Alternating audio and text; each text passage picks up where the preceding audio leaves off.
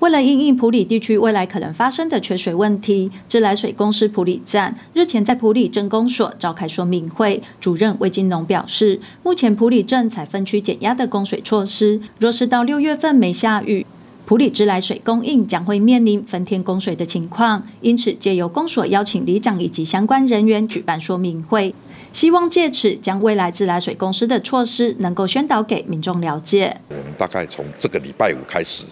啊，那我们会针对比较局部地区哈，隔日减压、隔日增压的这这个动作，来确保大家都有水可以用。这阶段我们铺里的水情还没有那么严重哈。那如果说我们的盐水量如果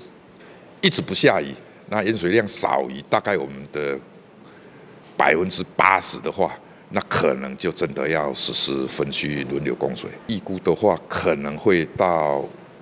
六月份如果一直不下雨的话了哈，通通不下雨的话，到六月份可能就会盐水量就会短缺到百分之八十以下。县议员陈怡君表示，缺水是目前全台都要面临的问题，也希望中央单位能够针对管线老化做全面性的汰换，并且针对民众用水问题，也要多做节水的宣导，让民众能够珍惜水资源。好，所以在这里呢，我们也要呼吁中央政府哈，必须要呢针对这个呃温管法。呃，去重视之外呢，对于这个气候变迁啊，会造成民生用水、农业的部分、产业部分各方面的影响，也要做一个通盘的规划。好，里面包括比如说我们自来水的这个更新管路的这个部分，否则呢，每一年有百分之十四哈，这个管路呢因为破旧老旧而以至于漏水非常的严重。我想这是我们中央政府可以做的。那再来就是对于民众在用自来水的部分呢，我我们要加以去宣导，怎么样去节约用水。